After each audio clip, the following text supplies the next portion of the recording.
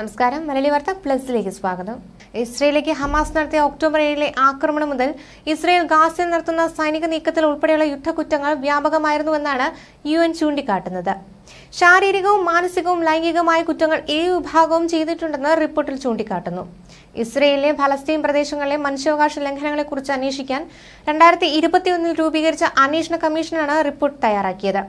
October ഏഴിന് ഇസ്രയേലിലേക്ക് നടത്തിയ ആക്രമണത്തിൽ തട്ടിക്കൊണ്ടുപോയ ആളുകൾക്ക് ഹമാസ് അംഗങ്ങളുടെ ഭാഗത്തുനിന്ന് ശാരീരികവും മാനസികവും ലൈംഗികവുമായ ആക്രമണവും അപകീർത്തികരമായ പെരുമാറ്റവും നേരിട്ടതായി അന്വേഷണത്തിൽ കണ്ടെത്തിയിട്ടുണ്ട്. സ്ത്രീ ശരീരങ്ങളെ വിജയം ആഘോഷിക്കാനുള്ള ഒരു വസ്തുവായി മാറ്റിയെന്നും യു എൻ മനുഷ്യാവകാശ വിഭാഗം മുൻ മേധാവി നവി പിള്ളയുടെ നേതൃത്വത്തിൽ നടത്തിയ അന്വേഷണ റിപ്പോർട്ടിൽ പറയുന്നു.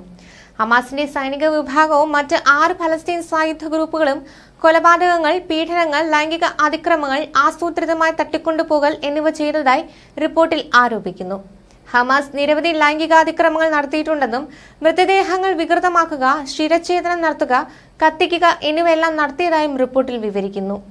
ഒക്ടോബർ ഏഴിലെ ആക്രമണത്തിനിടെ ഫലസ്തീൻ സായുധ സംഘങ്ങൾ നടത്തിയ കുറ്റകൃത്യങ്ങൾ ഹമാസിനെതിരായ ആക്രമണത്തിൽ സാധാരണക്കാരുടെ ഇസ്രയേൽ സൈനികർ ചെയ്ത കുറ്റങ്ങൾ എന്നിങ്ങനെ രണ്ട് റിപ്പോർട്ടുകളാണ് യുൻ എൻ സമിതി തയ്യാറാക്കിയത്. സബ്ബത്ത് ആക്രമണത്തിന് ശേഷമുള്ള സംഭവങ്ങളെക്കുറിച്ച് യു എൻ തയ്യാറാക്കുന്ന ആഴത്തിലുള്ള ആദ്യത്തെ റിപ്പോർട്ടാണിത്. ബോധപൂർവമുള്ള കൊലപാതകങ്ങൾ സാധാരണക്കാർക്കും അവരുടെ സ്വത്തുക്കൾക്കും നേരെയുള്ള ആക്രമണങ്ങൾ ലൈംഗിക അതിക്രമണങ്ങൾ പീഡനങ്ങൾ മനുഷ്യത്വരഹിതമായ പെരുമാറ്റം അനധികൃതമായ തടവിലാക്കൽ എന്നിങ്ങനെ നിരവധി കുറ്റങ്ങളാണ് ഇസ്രയേലിന് മേൽ ചുമത്തിയിട്ടുള്ളത്. ഫലസ്തീനികളായ പുരുഷന്മാർ ആൺകുട്ടികൾ എന്നിവരെ വിവസ്ത്രരാക്കുകയും അവർക്ക് നേരെ ഇസ്രയേലി സൈന്യം നടത്തിയ ലൈംഗിക അതിക്രമങ്ങളെക്കുറിച്ചും റിപ്പോർട്ടിൽ എടുത്തു പറയുന്നുണ്ട്. അതിന്റെ ചിത്രങ്ങൾ സൈന്യം തന്നെ പരസ്യപ്പെടുത്തിയത് അപമാനിക്കാൻ ലക്ഷ്യമിട്ടായിരുന്നുവെന്നും റിപ്പോർട്ടിൽ ചൂണ്ടിക്കാട്ടുന്നു. ഗാസയ്ക്കായി അമേരിക്ക മുന്നോട്ട് വച്ച വെടിനിർത്തൽ കരാർ ചർച്ചകൾ അവസാന ഘട്ടത്തിലേക്ക് നീങ്ങുന്ന വേളയിലാണ് റിപ്പോർട്ട് പ്രസിദ്ധീകരിച്ചിരിക്കുന്നത്.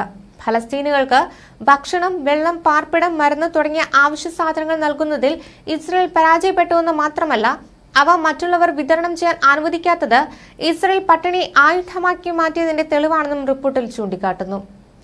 വലിയ കുറ്റകൃത്യങ്ങൾ ഇരുവിഭാഗവും നടത്തിയതായി കണ്ടെത്തിയിട്ടുണ്ടെങ്കിലും ശിക്ഷ ചുമത്താനുള്ള അധികാരം സമിതിക്കില്ല. എന്നാൽ ദക്ഷിണാഫ്രിക്കയുടെ നേതൃത്വത്തിൽ അന്താരാഷ്ട്ര നീതിന്യായ കോടതിയിൽ ഇസ്രയേലിനെതിരെ നൽകിയിരിക്കുന്ന കേസിൽ ഈ റിപ്പോർട്ട് ചർച്ചയായേക്കും. അതിനിടെ ഗാസ വെടിനിർത്തൽ നിർദ്ദേശവുമായി ബന്ധപ്പെട്ട് ഹമാസ് കൈമാറിയ പ്രതികരണത്തിൽ തീരുമാനം കൈക്കൊള്ളാതെ അമേരിക്കയും ഇസ്രയേലും.